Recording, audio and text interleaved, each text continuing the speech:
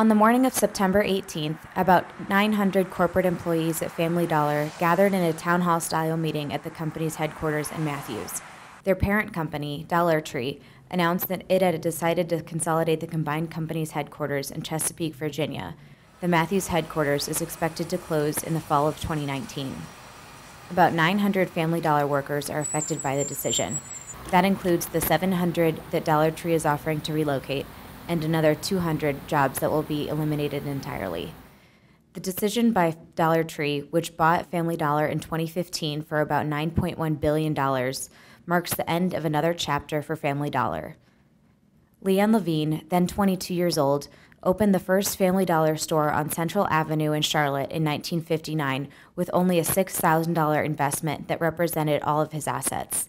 The Levine family grew the dollar store into a retail giant over the next several decades, expanding even during the recession. After Dollar Tree took over, Howard Levine, the son of founder Leon Levine, stepped down in early 2016, marking the end of local leadership at the decades old retailer.